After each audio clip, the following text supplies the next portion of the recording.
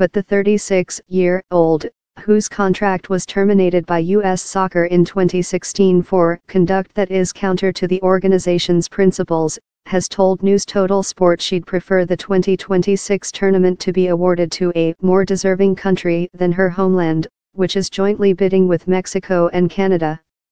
North America is up against Morocco to earn the right to host soccer's showpiece event in 2026, with a decision to be made on June 13 in Moscow, the eve of the 2018 World Cup in Russia, when up to 207 national associations at a FIFA Congress will decide in a public vote who will host the tournament in eight years.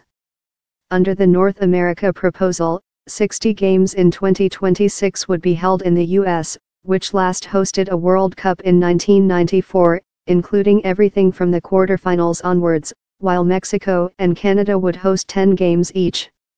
Read, 11 moments that shook the World Cup read, and the winner of the World Cup is. Admitting that her feelings on the matter were mixed, Solo told News Total Sport in an exclusive interview, I think anytime you host a World Cup you're going to have new generations of soccer fans and that's important. It's important especially in a younger country like America.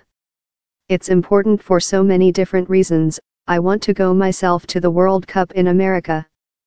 But, at the same time, I think it should be awarded to a country which abides by federal law, who is transparent, who runs their nonprofit organizations in the way it should be run, who aren't hiding millions of dollars, and a company who actually answers these questions that want to be answered. They just ignore everybody. They are the U.S. Soccer Federation, USSF, the body that runs football in the States and is one of the driving forces behind the North American bid. I do have a problem with an organization like that being awarded something so big and I would like to think there's another country out there who is more deserving than the United States, continued Solo, who was voted the outstanding goalkeeper of the past two Women's World Cups and is only the third female goalkeeper in history to win both a World Cup and Olympic gold. Of course, I want to see the World Cup in America. But I also want to see an organization that stands true to the promises that they made to all of the delegates, to all of the members. But, right now, they've neglected so many people of the membership. If they get the bid, they make more money and they don't answer to anybody so it goes back to the power structure. The sport of rich white kids the hidden millions solo refers to is the $150 million surplus in U.S. soccer's coffers.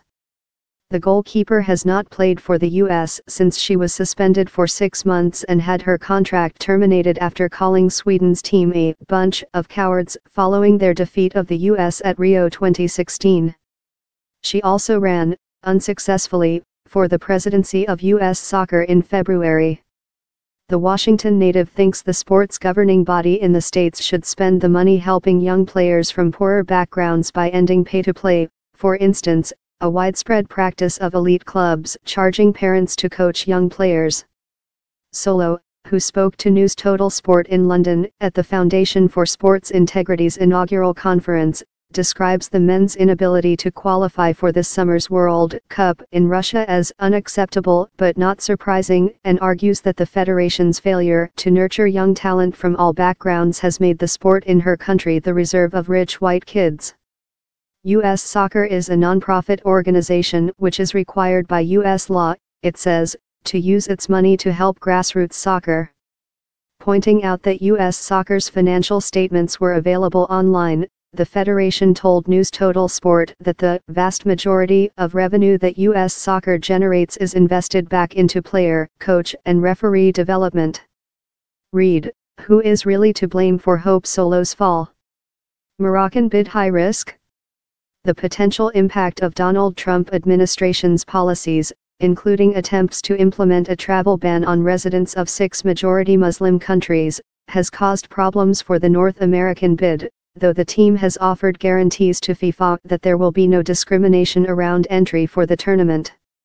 Morocco's bid, however, hasn't been without its problems either.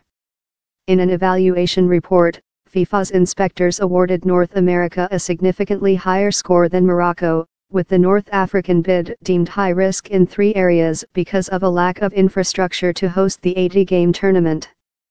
FIFA's evaluation of the Morocco bid also raised concerns about the potential treatment of the LGBT community. There is a risk of discrimination based on sexual orientation as a consequence of the country's legislation on the matter, said the FIFA assessment. Morocco has said it needs to spend almost $16 billion, 12 billion pounds, on infrastructure while the North American bid's revenue forecast, dollar, far outstrips what Morocco has to offer, dollar. Regarding sexual orientation, the North American bid pledged to use its leverage to reduce the risk of discrimination and harassment in Mexico and the U.S. in particular. Visit for more news, features, and videos. U.S. Soccer told News Total Sport that the North American bid, also known as United 2026, was a low-risk operational certainly that is only exceeded by its opportunity to grow, enhance and propel global football forward for years to come.